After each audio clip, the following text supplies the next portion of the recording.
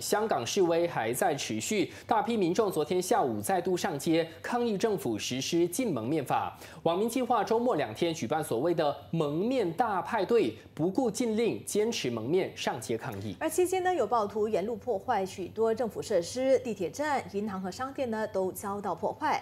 港府深夜发出谴责，并呼吁市民和暴徒切割。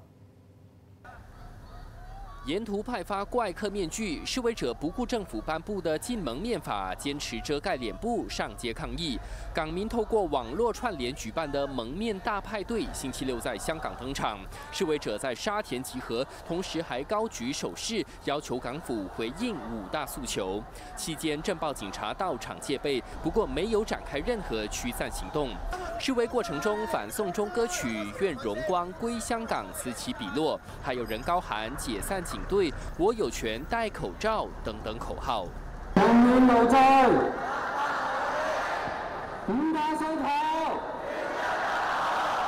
对于违反禁令戴口罩上街，一些年轻人坦言，他们其实也担心被捕，不过他们认为这是他们守护自由的最后机会。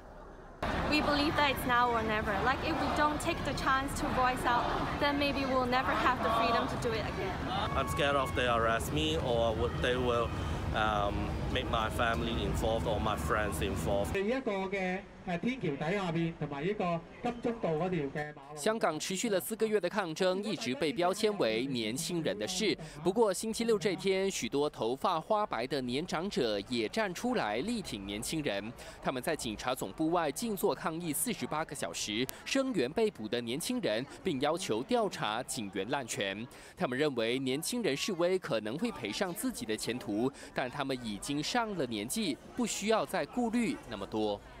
We have no work, no need to, uh, uh, no, no, no, don't worry about our salary, don't worry about our future.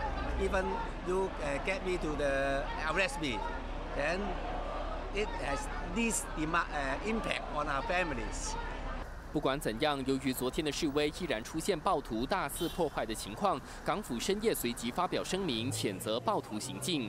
港府称，暴徒的行为破坏安宁，威胁市民安全，向地铁站投掷汽油弹的行为更是极度危险。港府呼吁市民和暴徒切割，全面协助政府恢复社会秩序。NTV 七综合报道。